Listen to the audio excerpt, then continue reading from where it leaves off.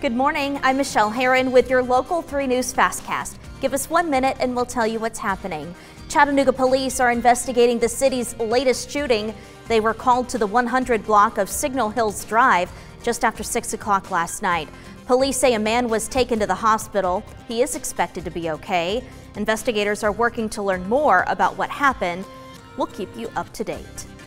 In Sweetwater, one person is dead after a train hit a car. Investigators say a Norfolk Southern train hit a car that was on the tracks. The driver, Charlotte Castillo Wong, had stopped there during peak traffic time and was unable to get out of the train's way. She was pronounced dead on the scene.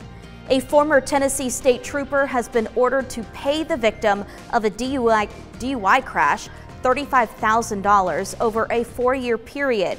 The DUI crash was in June of 2022. Stephen Brown was fired soon after. Brown was off duty at the time he crashed into the man in the early morning hours. He had been drinking whiskey and beer the night before. Take the news with you inside our app and check back with us throughout the day.